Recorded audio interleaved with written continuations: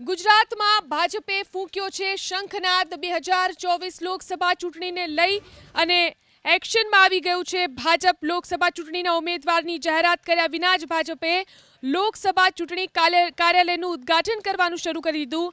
આજે ગુજરાતની છવ્વીસે છવ્વીસ લોકસભા બેઠકના મધ્યસ્થ ચૂંટણી કાર્યાલયનું ભાજપે ઉદ્ઘાટન કર્યું. ગાંધીનગર લોકસભા બેઠકના ભાજપના કાર્યાલયનું ઉદ્ઘાટન કર્યા બાદ પાર્ટીના રાષ્ટ્રીય અધ્યક્ષ જેપી નડ્ડાએ ગુજરાત ભાજપના સંગઠનની પ્રશંસા કરી. આ સાથે જ વ્યક્ત કર્યો વિશ્વાસ કે ગુજરાતની તમામ છવ્વીસ બેઠકો ભાજપ જીતશે. તો પ્રદેશ ભાજપ પ્રમુખ સી આર પાટીલે તમામ એકસો છપ્પન ધારાસભ્યોને જવાબદારી સોંપી કે તેમને જેટલા મત મળ્યા, તેના કરતાં વધુ મત લોકસભા ચૂંટણીમાં ભાજપના ઉમેદવારોને મળવા જોઈએ.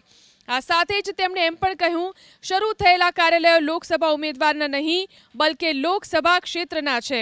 ભાજપે ગાંધીનગર લોકસભા બેઠકના પ્રભારીની પણ નિમણૂક કરી, બક્ષી પંચ મોરચાના પ્રમુખ મયંક નાયકને બનાવાયા ગાંધીનગર લોકસભા બેઠકના પ્રભારી. તો હર્ષદ પટેલને સોંપાઈ સંયોજકની જવાબદારી જ્યારે કે નવદીપસિંહ ડોડિયાને બનાવાયા સહ સંયોજક